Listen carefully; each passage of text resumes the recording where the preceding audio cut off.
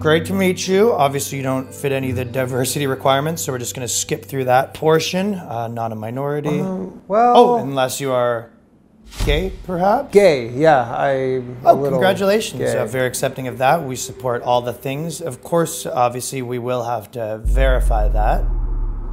What? No big deal. We'll just need proof of that. Proof that I'm gay? Pics, videos, references that you've had intercourse with. We'll just give them a quick call, bing, bang, boom, move on. Is that standard here? Yeah, the men can just verify a couple of the things that they did to you. Uh, no big deal. I did it myself when I started here. I don't know if I have any like like references. Oh, is that going to be a problem? Um, I just don't know if I have their numbers. Being gay and all, it's all discreet and anonymous. there is a second option. What? What is it? Well, we do, of course, have our in house diversity confirmation officers. One of them can just take you to the diversity bed, make love to you, just a formality. diversity bed. Hey, Tony, Ahmed, Brad, get in Wait, here. so this Tommy guy's just in here somewhere? so, Tommy, you'd prefer. Yeah, I think he's made his choice, Tommy.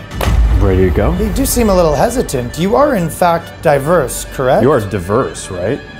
what are the other options? Well, you don't seem black, you're not in a wheelchair, and you don't want to go to the diversity confirmation bed? I'm very gentle. what was the pay again? About 120k a year. All right, check that off here, and it's between you and about 45 other applicants. We will let you know.